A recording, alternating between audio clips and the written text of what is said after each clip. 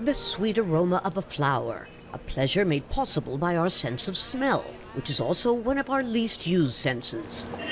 That's why scientists were late to catch on that an estimated 80% of people who present no obvious symptoms of coronavirus, in fact, have partial or total anosmia.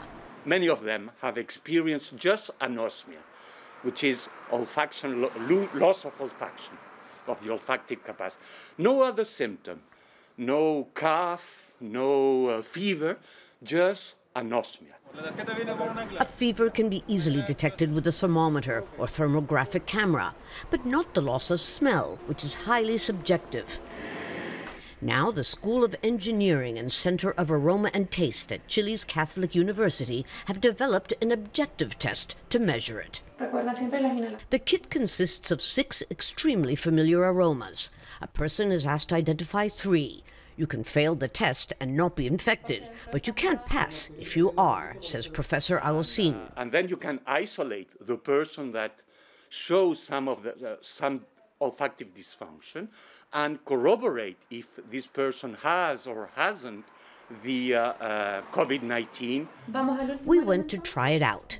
So I've always prided myself on having a good sense of smell, but now we're going to see. Número dos. All correct. So I passed the test, and uh, thank God. And the amazing thing about this is that it's not only very, very quick, it's extremely inexpensive, about 30 cents per test, which means that it's a, a very viable alternative in countries that can't afford widespread testing with the, uh, with the classic COVID 19 examinations.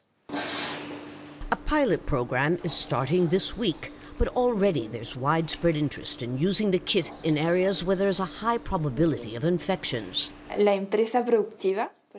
In industries that can't stop, for example, like food production in mines or hospitals, they can test them frequently, and if they don't pass, send them to take the traditional test to confirm. Indeed, just like having a high temperature does not mean that you have COVID 19, losing your sense of smell isn't proof of infection.